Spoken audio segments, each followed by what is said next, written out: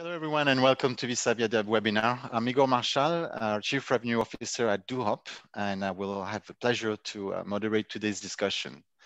Um, but first, uh, as we speak today, I just wanted to remind everyone that we have a, a sad anniversary. Uh, it's unfortunately been around about one year now uh, that uh, since all airlines uh, around the world have been crippled uh, by the COVID-19 pandemic. Uh, if I remember well, it was the 11th of March 2020 that uh, World Health Organization had officially announced that it was a pandemic. So the topic today really is about airlines and how technology and uh, agile partnerships uh, can speed up the recovery for those airlines as they slowly but surely prepare and move towards a post-COVID world and a much anticipated rebound for the air travel industry. Uh, but as is often the case in after any of these major uh, industry crisis, the airline industry has got a, a, real opportunity also to rethink its ways of doing business and um, managing its network successfully in a new way. So um, today you have uh, how many airlines that EasyJet is connected with? 17. 17. Okay. So out of this 17, I'm, I'm curious. Uh, so you've connected with long haul full service carriers, whilst EasyJet is still very much a short haul uh, and considered as a low cost carrier.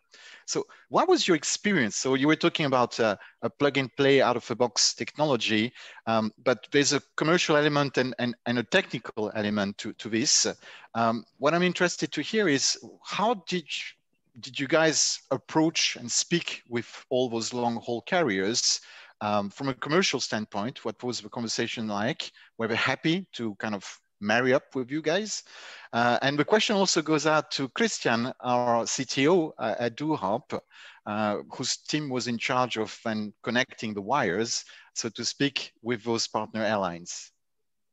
So maybe on the commercial side for you, Antonio. First. Yeah, yes, I can start. Yeah, um, just to put this in context, um, it's a very good question. And uh, at the beginning of this journey, I could say that the common belief around Worldwide by EasyJet was that this was a product and platform only to connect low cost to low cost carrier, given maybe most of the time the similarity of the simplicity of their PSS or the fare bundle structure, pricing rules, and so on. And maybe most of the time, integrating that full service career uh, it's a bit more complex or take a bit lo more longer than a, a low cost career So there are no doubts about this. But what I personally have seen is an increasing interest from full service career to join this platform year by year. And specifically now in this moment, uh, during this tough time of, you know, pandemic where the demand is very weak, um, are increasing their restriction, all the airlines are struggling to survive and are reducing their schedule. There is a lot of interest for every airline to just improve the connectivity and connect and offer their customer enhanced experience and, and, and enhanced network without changing their business model, without uh, deploy short haul play, narrow body or long haul wide body. So I can proudly say that I receive on a weekly basis a lot of message of interest between a lot of airlines and most of them are full service carrier. So from a pure commercial side, well, let's say that um, a lot of the, the, most part of the discussion is all around IT and tech. So we cannot uh, forget about this. Uh, but a huge part of the discussion is also around products and ancillary because the full service carrier are very interested to offer to their customer a seamless, uniform experience uh, to give to their customer the best um, experience during their journey end to end. And given the peculiarity of the uh, business model of the low cost versus the full service carrier, product uh, play a big role. Um, I don't know if Christian for sure can add something else. Definitely, yeah, Christian. The question goes out to you. So, of course, EasyJet knows what they have in store in terms of ancillaries and the way they want to be merchandised. But since they are building itineraries that uh, involve a third party airline, how did these conversations go then with that airline that uh, was opening up its content, its inventory uh, to be to be mixed uh, with uh, with EasyJets? Yeah, maybe sort of continuing where uh, Antonio left about uh, full service carriers and, and, sort of the, the request for uh, maybe more or, or, deeper integration into ancillaries and, and um, and uh, sort of uh, service uh, and service level. So, and the difference between working between a, full service carrier and a low cost carrier. And we, on, on, on our side, we work closely with the carriers, adding them into Worldwide EasyJet. And what I've learned in the last three years or so is that the full service carriers, they tend to ask a lot of uh, sort of more questions about uh, like the service level uh, and about uh, disruptions uh, and etc. because they are experienced in serving the passengers with interline connections, and I, I think we, we, we took a lot of learnings out of that uh, as well, which is important. Uh, so it's a, it's a definitely a, a, a benefit, uh, including a full service carrier in a project like this. Um, they, uh, well, maybe for the same reason, they tend to take sort of planning and, and QA uh, more seriously, which is uh, can also be a benefit, and but it also takes more time to to uh, add a full service carrier into a virtual interline product because it's more sort of um, yeah, it's it's uh, uh, not maybe it's it's it's different to what they are, are used to. So the what the propositions can be uh, can be different and that actually simpler so it's actually, that's why I think they, they have more questions on this. Um, also about the maybe the cons of, of working with full service carriers versus a low cost carrier is that they tend to maybe not to have the technology ready what which is uh, needed uh, uh, an API and DC API or any other API that allows you to shop and book their their uh, inventory. And uh, so often they introduce third party um, technology provider, and um, which can be fine. Which actually can be uh, we that we have already have an integration with a third party, so it's actually a plug and play to add the full service carrier into a product like Worldwide EasyJet. But if it's a new one, then there we have three parties, and then things get uh, well, might take more time for that reason. Um, then we, we also see some sort of legacy pulled in uh, uh, working with full service carriers because they're used to different office IDs per point of sale, which is uh, you don't see with uh, LCCs normally. So it's uh, like the rollout strategy might be different. They might just want to include a uh, set of um, point of sale to begin with and sort of slowly uh, sort of uh, adopt to, to, to this model. And so that's a little bit different. And um, yeah, and then they maybe have um, sort of more stakeholders and, and maybe the existing infrastructure on, on, on partnership and etc. So they they bring in more uh, or bigger team to, to work with and, and um, so yeah the conversation is it can be different so definitely yeah. so the, the key word here is uh, uh, agility and, and and making sure that uh, we adapt to the tech stack and to the particular uh, configuration and, mm. and context of each airline that uh, would want to uh, distribute its content through, uh, through a third party partner. Yeah. So interesting. So what we've seen um, at the very beginning of this uh, webinar uh, with, uh, with, with John kind of painting us uh, the, the, story or the history of, of, of Interline in, in the airline world, um, I'd like to turn now to, to Nick, Nick from Vueling. hello, Nick. What I wanted to hear, as you're an airline insider as well, um, is what you would see or consider as being the limitations of traditional interline in the context really of this lingering pandemic we have to face um, from an insider airline point of view. Um, in, in what ways do you see that maybe virtual interline would meet today's needs for more agility in, in, in helping with this post-COVID recovery? Well, thank you, Igor. And first of all, thank you for inviting me along to this session. It's a pleasure to participate. Um, I think the interesting thing here, and Antonio's touched on this already, is that the interline isn't universal. Now, Vueling's in a unique position because Vueling started its life as a low-cost ticketless carrier hosted in Navitaire. But over time, what we, well, essentially what happened was when we were bought by IAG, we needed to, to develop our business model and adapt our processes in order to work with legacy carriers. And what that taught us is that, that having to make these developments puts a bit of pressure on our business as such. So there's a lot of resource implications in terms of being able to develop your capabilities to, to manage Interline. There's also a cost implication there as well. But Interline isn't necessarily a tool that is easy for a low cost carrier to work with.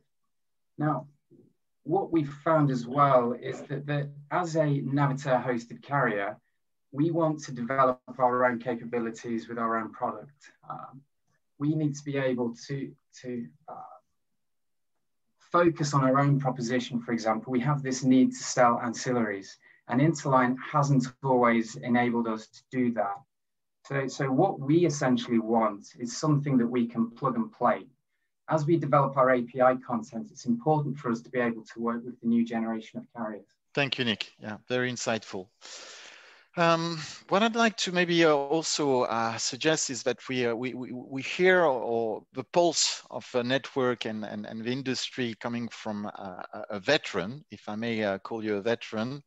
Um, Marc from Airline Pros, um, your company represents and, and, provides solutions to quite a few tier two and tier three carriers around the world. Um, so you have a mix of both LCCs and, and legacy uh, uh, model airlines uh, around the world that you speak to on a daily basis, what are they actually telling you about what's driving their interest about virtual interline? Because you know it's been around for a number of years now, but there seems to be more more interest into this alternative way of uh, distributing and, and, and managing your network than, than in previous years. Yeah, absolutely. Well, first of all, Igor, thank you very much for, for inviting me to, to join such a distinguished panel here. Um, very interesting from our position as airline pros, Airline Pros International, where we work with, we're well over 50 carriers now on a global basis. Uh, we were looking into and, and getting more and more involved with this whole notion of virtual interlining or interlining 2.0 prior to the pandemic or COVID uh, coming onto the scene. But uh, no question that um, this has been really a, a, catalytic event that from the feedback that we're getting from the carriers, their spiked interest in this, um, it, it's really now we're, we're, kind of in a seismic shift of, of attention to distribution concerns. And uh, so out of the 50 plus global clients that we've got, um, they basically fall into one of two different categories. Either the, the legacy model carriers, you know, the ones that are used to interlining the, if you will, the old fashioned way, the, the, the models that we've been following for what, 50, 60 plus years. Um, but many of them are realizing that it, it's quite inefficient and that they're looking for smarter solutions, smarter ways of, of doing business. And then we have on the other side, we have the, the LCC or the newer carriers, the ones that are a bit more nimble, they're, they're more progressive in their thinking, limited infrastructure. I mean, they just don't have the ballooned out um, infrastructure for, for older processes. You know, they, they see the advantage of the interlining. Um, they obviously want the revenue or the business that comes from it, but they're well enough disciplined that they won't accept it on the terms of doing these old legacy or archaic processes that drive so much complexity and infrastructure and, and cost. I mean, it just, as it adds to your overall cost of sale, it's just prohibitive for them. So their view is that how do we accomplish both? Not one or the other, but how with what's going on now, particularly in the current environment. And that's basically both groups having um, similar objectives. It's about more incremental passengers, truly incremental passengers, and at lower distribution costs. Now, okay. how to get there and, and what's most important for them varies a bit by the airline type. Obviously, the LCCs are looking for more the interline feed. They know it's essential to them. Some of them they're absolutely dependent on that in order to, to survive or in order to grow, but they have to find a way to do it without buying into all the, the legacy structure. And then on the, the legacy carriers, the following the legacy model, um, particularly the, the, the, larger global networks, global airlines, what they're looking for is they've now more than ever got to get more feed from behind and beyond their long haul segments. You know, in, in the post-pandemic environment that's going to be with us for a good while now, carriers, network carriers, they've got contracting networks. They're not flying everywhere they used to. And so as a result, they're now more dependent upon feed traffic. They're not getting it all from their own online. And they want to they want to engage with, they want to get it from the LCCs and the regionals, but they know they have to do it in a more efficient way than what they've done up to this point without that cost. So really, in this cost-cutting time, they can't afford to keep following the same old model. Now, yes, there are some established and legacy carriers that just haven't wisened up to this as yet. They're still clinging to the old ways of doing business. But I think what we're seeing now, definitely uh, an increase in, in the legacy carriers that realize that they've got to find a way to do business on uh, reasonable cost and, and complexity terms with the, uh, with the regional carriers, with the LCCs. So then the question becomes, and what we're working with them on is how do we use these emerging technologies for not just incremental, but really step change results. You know, you take the new mindset, you take the shift that's happened after an event like this, you take tools that are available now that weren't available before, and that leads to how do we make these changes? How do we quickly, efficiently implement them? You know, one of the questions when we talk about the, the legacy and the LCC carriers that need to, to work together, it's how do we quickly and efficiently create interlining between a ticketless and a ticketing carrier. I mean, just the notion, for example, and, and I've got a lot of admiration for, you take a look at what EasyJet has done. So now you can interline or virtually interline between EasyJet and Singapore Airlines or EasyJet and, and Emirates. You know, these are, these are great examples. How much more does this open up in terms of your total distribution, in terms of your marketing capability? But then the other questions or the concerns that come up is how do we how do we do this virtually seamlessly while at the same time looking after the customer, making sure that the customer's interests from a transparency point and also from a service point is also covered and taken care of. You know, how do we make this interlining easy to administer? How do we cut the, the archaic complexity? How do we dump all the heavy contracts and you know, weeks and months of SPA negotiations and fare filings and the complexity of interline billings and currency conversions and all that other uh, baggage that went along with the old model. How do we also get the cost efficiencies? I mean, you know, you really, a lot of carriers are become very, very interested when you talk about a platform and interlining that does not require uh, a GDS or GDS fees or no IET testing or te IET testing costs particularly when you're looking at uh, uh, testing across two different PSS systems. Um, no interline service charges. Wow, there, there's a big savings there. No clearinghouse costs, no waiting for your uh, payment. It's payment at time of transaction, rather uh, time of sale, rather than uh, you know 30, 40 days after flown. So it's really about the carriers want to see how do we streamline this down to something simple, everyday practice without the heavy infrastructure it, it, it, then creates an empowerment. It's, it's an ability for them to be able to do more commercially driven rather than process driven.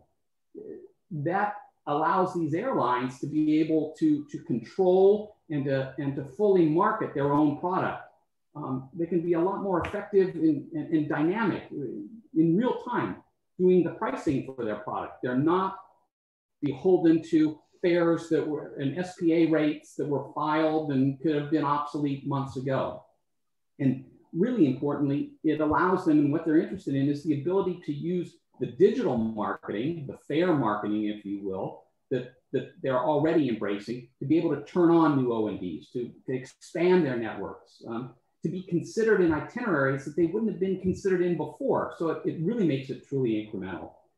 And then they also like the idea of being able to be offered in front of more end consumers, not just what's done on an OTA or through a travel agency, but to the growing number of end consumers who are shopping for these connections online.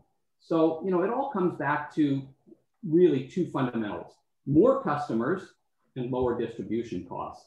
And this, this, this post-pandemic environment, this is when things are permanently changing in, in not evolutionary, but step change ways. And there are carriers out there, we're, we're happy to be working with a lot of them that they want to be proactive, they want to get the jump start on it. And uh, that's what they're telling us. Thank you, Marc. Thank yeah. you. Especially coming from someone with 30 plus years of experience in the airline uh, industry. Uh, that, yeah. that, that definitely uh, shows that you, you, you, seem passionate about the topic even more than myself. So uh, it's yeah. very pleasing to hear. So you touched on. Going. you touched on an interesting topic. You were talking about baggages. So what I, we do hear airlines also say is that, hey, yeah, but you know, virtual interline is not quite like the traditional interline. It's not quite the same thing. We're not comparing apples to apples. There is in the traditional interline some seamlessness and frictionless servicing. Um, customers uh, experience is important and will remain even post-COVID important. Um, whilst virtual interline uh, by and large remains a self-connect product. Um, so uh, people would not remain uh, outside throughout the connection.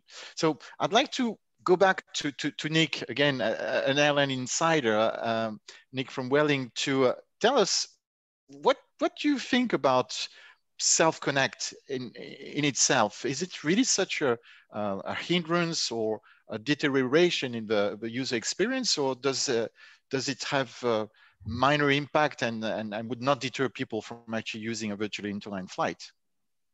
Well, we know that people are self-connecting today. So as Antonio explained in terms of the setup of Worldwide by EasyJet, that was done because EasyJet and Gatwick recognized that were people that people were, were doing this themselves. There was an opportunity there to, to improve the process, if you like and I, I, have a very personal experience here that really drives or drove my thinking. I, am a commuter, or at least I was before COVID, between Barcelona and Newbury in the UK. And in order to get home every week, I needed to book a ticket on an airline on Vueling, British Airways into Heathrow. Then I had to book a separate ticket on the bus to get to Reading Station, and then a separate ticket to get from Reading to Newbury. And basically what this has taught me is there are improvements that need to be made there. There is a demand for such connection journeys. People are going to take them, but there really is a big opportunity to improve how we put a product in front of the customer. And, and as Mark touched on, there's an increasing requirement for airlines to get involved in that, certainly from a retail point of view. We want to be able to offer more of those elements in the customer journey. And we're not doing that to the extent that we'd like today. So interline for us has been limited. Our ability to go out and put these connections together, especially as a, a, a ticketless carrier, is difficult. Even in the interline world, things like intermodality, the opportunities are just kind of limited, especially for Vueling, where we don't really have that capability and it's not in our business model as such. And what we're discovering as we have conversations with different players across the ecosystem is that the traditional legacy ticketed setup isn't necessarily designed to help us deliver there. What you're seeing, of course, not just with airlines, but also train companies, bus companies, etc., is that there are new players in the market. There are different players who want to be part of that value chain, the travel proposition. So what we as an airline want to be able to do is to put that product in front of the customer. We know people want to get from A to C, we want to be able to offer more parts of that journey.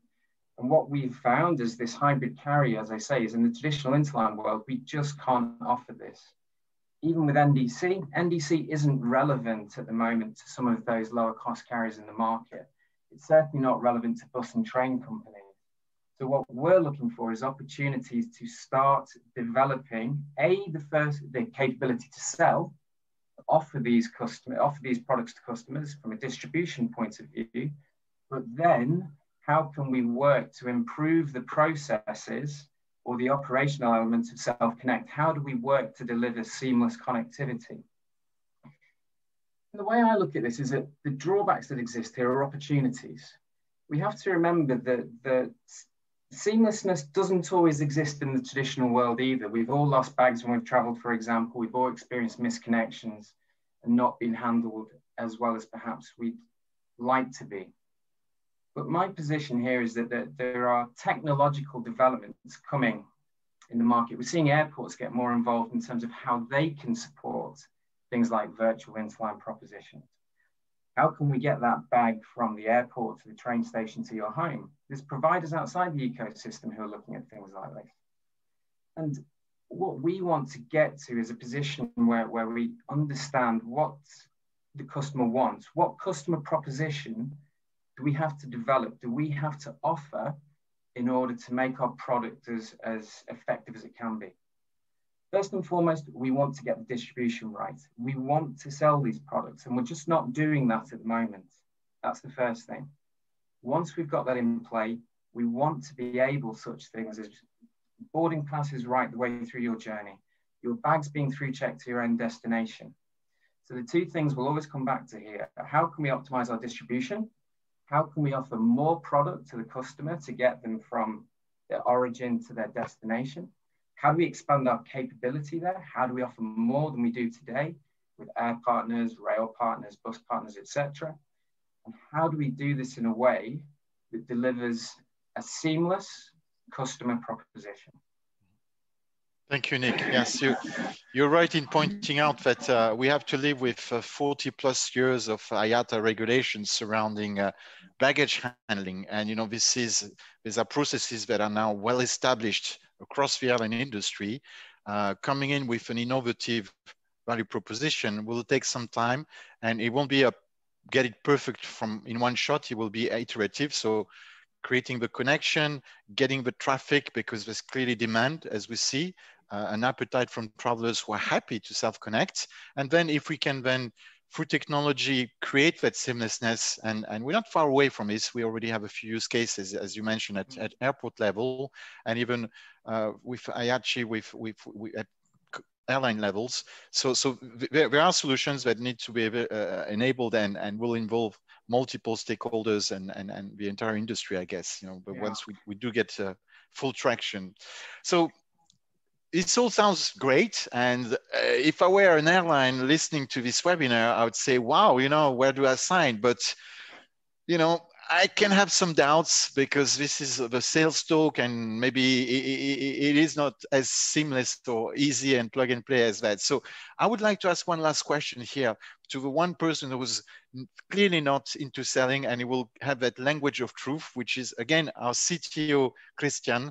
Um, so if I were an airline, can you tell us what would be the milestones in a nutshell huh, uh, of what it would take to create virtual interline for me for a platform uh, co-hosted uh, on the back of my uh, usual uh, airline.com website. Thank you, Igor. Yes, I'll, i can walk through the sort of milestones and what we require from the airline side, and, and um, uh, feel free, Antonio, as well, to sort of add to something that I, am uh, missing for some reason. So normally it takes about three to four months uh, after a carrier um, signs with us uh, that wants to have a virtual interline platform with his own branding. Uh, yeah, it takes three to four months to, to configure and sort of uh, develop on our site. Sometimes it's even less, and sometimes it's more, depending on the level of customization that the partner is um, sort of, um, including in the in the product, or wants to be included in the product. What we need from a, an airline to able to create or, or set up the, the platform for an airline, we first of all uh, the airline needs to plan its uh, partnership strategy, like which carriers he wants to work with, and and we, we can help with that. Uh, definitely, we, we we do have um, a team on our side also to, to sort of map out what are the sort of potential best partners uh, from uh, full service carrier to LCCs and etc. And, and, also we have a list of airlines that we are used to working with and we have already integrated their API. So we have some input there if, if, if you need help if we need an API, uh, uh, an NDC API or other airline API, it can be proprietary API that allows you to shop and book. So the, and then yes, great if we, we can add ancillaries like uh, additional bag and seat selection on top of that. That can be an API directly from an airline or from a, a third party, uh, either GDS or Farelogix or some other aggregator. That's um, yeah, we're used to working with all sorts of type of APIs. Um, branding guidelines we need as well from airlines or uh, airline to provide a, a, design draft, which will take care of implementing, but it's something we, we need uh, at least the branding guideline. Uh, or we can actually we, we can propose a, a, design and then have your uh, feedback on as airline if this is uh, what you expected. Uh, we need the airline to, to, make one change to their website, and that's uh, on their homepage in the search form or the search ports. Uh, you need to add additional ONDs. These are the ONDs that are new and are introduced by adding a partner to your network. And these are ONDs we supply with you, so you have regular data coming from us, and you can decide if you use our API or flat file or something to actually um, add to your list of ONDs that you uh, are able to offer.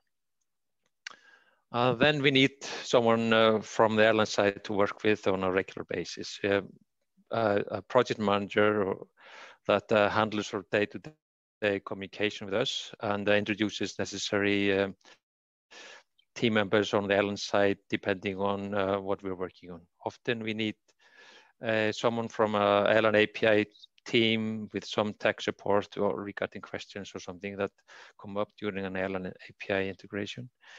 Uh, often we also speak to a digital team on the airline side regarding um, yeah like branding and, and etc. Uh, yes, we work closely with um, uh, the um, alliance team or, or, partnership team, and often maybe the project manager is exactly coming from that team, from the airline. And sometimes we, uh, we have uh, calls with payment team or, or QA as well on the airline side. So there are multiple sort of touch points with airlines, but most most of the time it's a single person that we work with, which is a project manager, which is capable of sort of handling most of the uh, ongoing uh, work with us. And then, yeah, obviously the airline needs to do internal comms about uh, how the project works and sort of update all, all the stakeholders internally.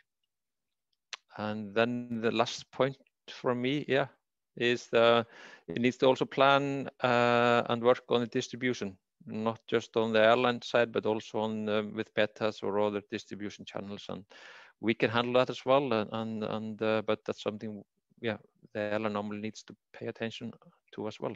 Absolutely, and and this is one important part uh, uh, that uh, we are we are underline when speaking to uh, airline partners that uh, you know however good uh, new fares that we've constructed through this technology, they will only be sold. if um, people know about them, and we will have to go beyond the natural reach of an airline's uh, website. Hmm. Um, and I'm thinking distribution here and, and, and, and marketing. Um, on the other uh, webinar panel um, uh, of today, um, there is uh, EveryMundo, uh, a partner who's uh, helping airlines distribute and, and, and, and resurface uh, through uh, various uh, media channels those newly created fares. So it's, it's important to bear in mind that getting the, the the pipeline and the groundwork foundation is, is only uh, one part of the work. And then it's about showcasing this extended network uh, for the airline to then make the most of it in terms of revenue and, and, and seats being booked. We've reached the end of this uh, webinar, so I would like to really uh, thank everybody again, uh, Kristján, Nick, uh, Antonio, and Marc. it's been extremely insightful and an enriching discussion we've had here today. And I very much look forward to, uh, to the next uh, webinar um, from AviaDev, uh, where uh, this kind of technology on, on virtual interline can be uh, discussed and debated uh, with, with other um, airline industry experts. Again, thanks to everyone. Thanks to the audience for today. And I look forward to speaking to you soon again.